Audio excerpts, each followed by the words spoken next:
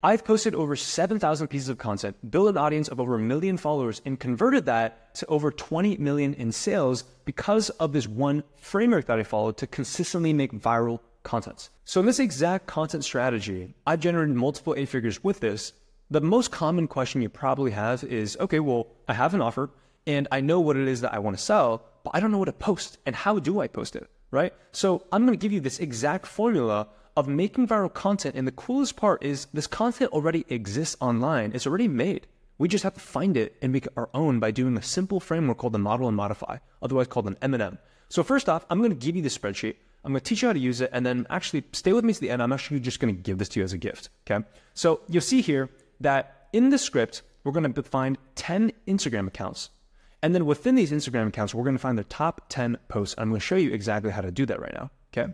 So, first off, you need to understand that when making viral content, you want to already find content that exists that's viral currently.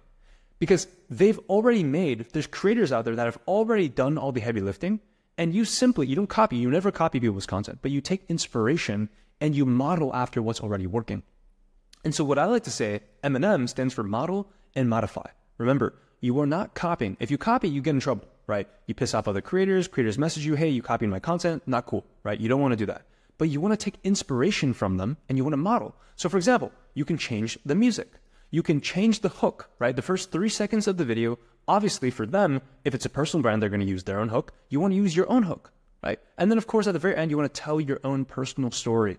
This is the most important part. You need to tell your story, not their story. So, for example, if you are a dad and you find a um, a viral uh, reel, for example, of a mom, obviously you're not going to talk about being a mom. You're going to change it to your story as a dad, but you want to keep it in the framework, step by step, very simple and close to what exactly it is that they're doing.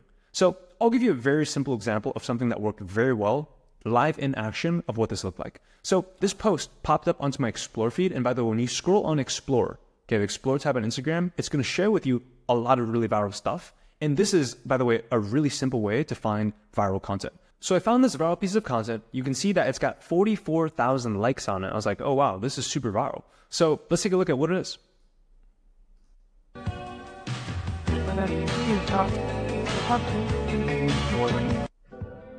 You, you saw how simple that is? Is literally just, hey, these are the emergency numbers saved. And so this is specifically within a Christian context, right? Talking about emergency numbers as in the Bible.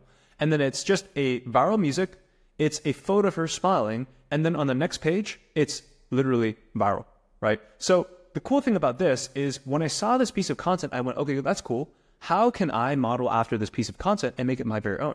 And so I want to share with you the exact version that I posted when I saw this. Let's play this.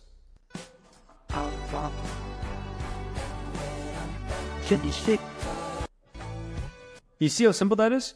All I did was I used the same copy, emergency numbers you need saved. And if you go back to the previous post on her side, emergency numbers you need saved. So I changed it slightly different in terms of the copy, the color, right, the fonts, and then I changed a different emoji at the end. But I used my own photo. So remember what I said? Model and modify. If you notice, I also used a different song. So that's really, really important. I used a different song. And then, of course, I used my own photo. And the coolest thing about this, and this is where you have to really get creative, is I used to work on an ambulance as an EMT, an emergency medical uh, technician. That's the first person when you call 911, I show up on scene. It was a crazy job. Learned a lot on that job.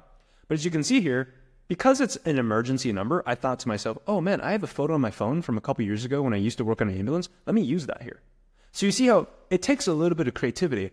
But the simplest thing is I didn't have to do any of the heavy lifting myself because it was because I saw something on the feed that was made by someone else and they did the heavy lifting. And remember, I didn't copy them. I did not copy them. I simply modeled after them.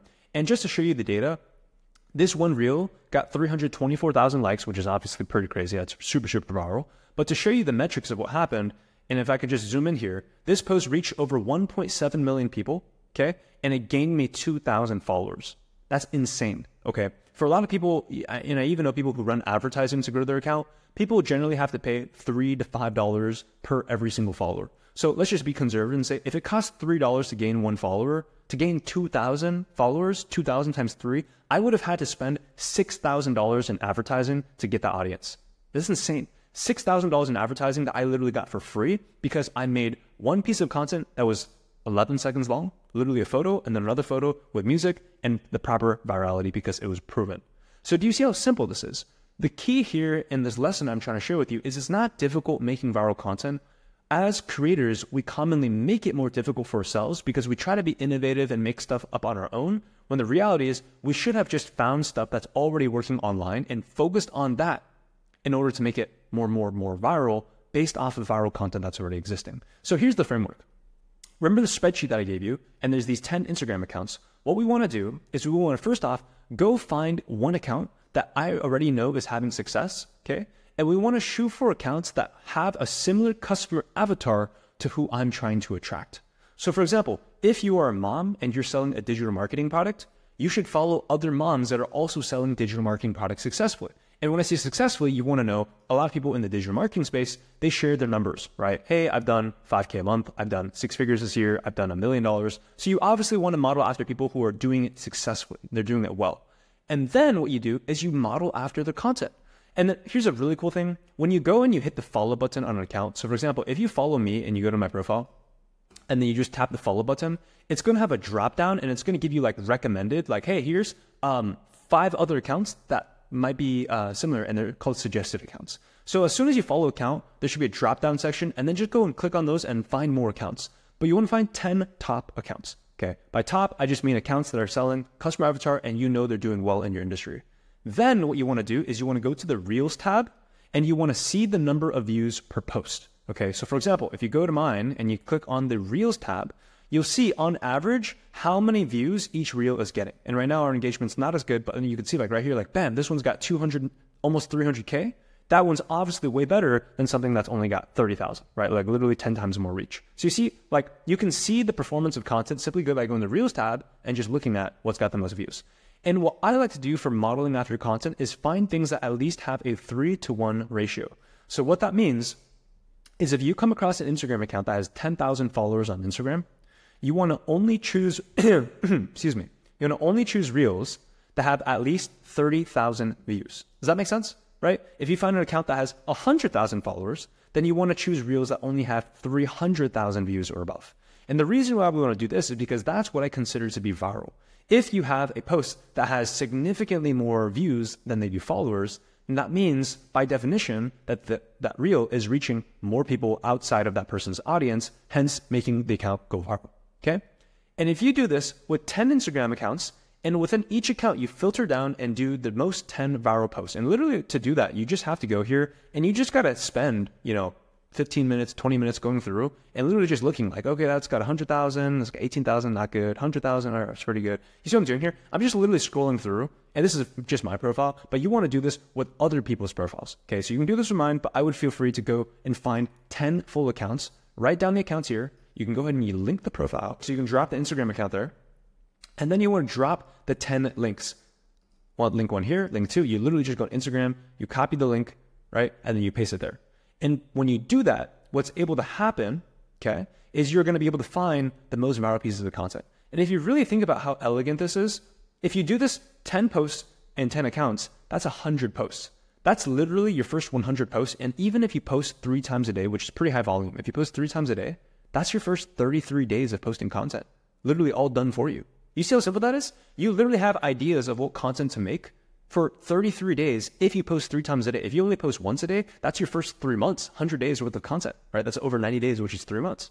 And so when you find this now, okay, that's the research phase. And that's why I call this the viral research script framework, the spreadsheet, because this is how you find stuff that's already viral. By the way, if you want this spreadsheet, the Viral Research Script, and the Google Doc associated, just go to my Instagram, drop me a follow, and then just message me one word, the word doc, DOC, and I'll send it to you. Once you complete this Viral Research Script framework of having these first 100 posts, now you want to take the hook of the post, okay, which is going to be the first three seconds, and you want to make it your own, okay? So for example, the first three is going to be the cover of the reel. So that's like the photo or the thumbnail of the reel. You want to make that obviously your own. And then also the copy, the music, the video, whatever it is, you want to model as closely as possible to the reel that you're modeling after, but you want to make it as close to the original as possible, but make it in your own story. So if the camera was set up in a certain way, you want to set up the camera like that. If it was a photo taken in a certain way, you want to have a photo similar as that. You want to have the, the creative be as similar as possible, But obviously, the most important is it has to be you. You have to be the face of it. Okay. You got to be the personal brand. And then for the rest of the video, okay, because the hook, the, the first three seconds, the part that you really want to stick to a script, the rest of the video, you can add your own twist. So if it's a talking head video, so you're talking about something, you can talk about it within your own framework. You can introduce elements of your own personal brand. You want to talk about your own story. but the most important thing here is you need to make the hook nearly identical. But when I say identical, don't don't think, oh, okay, so you're just saying just copy the whole thing. No, no, I'm saying identical, but use you. Use your personal brand and tell your story in it right? So the easiest example is you remember from the post that I shared with you. Obviously, it was a photo of a girl. Okay, I'm not going to use her face on my because then I, that would be breaking the rules. I'm copying her content. I used me. Okay, I used my content. Right, I can't find it anymore. Let me hit my back arrow. Okay, here we go. You saw that it was me, but I modeled as closely as possible with the text on the screen. So that's how you do it. You want to keep it as simple as possible that way. Okay, and I'll give you a pro tip the best way to get really good at content ideas is not just following pages that are in your exact industry. So, for example, if you're selling a digital marketing product or you're selling a fitness product, you only follow other fitness influencers. It's following people that have similar values to what you have as a person. So, for example, maybe you're selling a digital marketing product and you're a mom, okay? Rather than following all 10 accounts, because remember, it's 10 accounts that you want to do this 10 by 10 exercise with, rather than following 10 accounts, maybe four accounts or five of those accounts can be moms. So that part's similar, but maybe it's a mom that sells a fitness offer. Maybe it's a mom that has a marriage offer. Because what happens is when you follow people that are similar to you, that look like you, but are in other industries and other niches, what happens is you can get really innovative ideas that never happen. So, for example, I'm in the digital marketing space, right? I sell products in the business consulting space. But this person is not a business person at all. She does not have a business uh, offer. She has a completely, completely separate niche. If you look at her content, right? None of it business related. And so, if for example, you, I just gave you a, a really simple example, right? If I'm Christian, I follow other Christian pages. And the reason why I follow other Christian influencers is because I get ideas from a faith standpoint that would I would never find if I only followed business people, right? If you are a fitness influencer, follow other business people because maybe you're not going to make business content, but there's a business influencer that makes something on mindset, on self development, and you, oh my gosh, that's really good. I want to use that and add that to my fitness content, uh, my, my viral research script. You see how simple that is? Simple that is? So you go through other niches and you can also take content from that, right? And you can model after those even though they have nothing to do with your niche, right? I'll give you an example if you're a nurse. If you're a nurse, okay, you can follow other women who are promoting digital products, but I also know there's a lot of really well-known nurses and medical medical field workers that literally just have their own social media just for the sake of having their own social media, and they don't sell business offers. So go follow them because they have products. Excuse me, they have content that is viral. That's just nursing content, and that's what you should because you probably want to help other nurses as well, right? And then finally, here you can do this exercise with secondary platforms as well. So don't just think, oh, am I limited to only doing this on Instagram? Absolutely not. You can find something super viral on TikTok and you can do the 10 by 10 exercise on TikTok. You can go to YouTube Shorts and you can find 10 by 10 and do it with YouTube Shorts. I recommend you start with Instagram because obviously that's plat- that's content that's native to the platform. But after you you do this on Instagram, feel free to branch out to other platforms as well, and that's going to give you even more content to go through. Now you know how to consistently create viral content but how do you actually tell your story? Check out this video right here. I'm going to teach you there exactly how to build a genuine, authentic relationship with your audience. I'll see you there.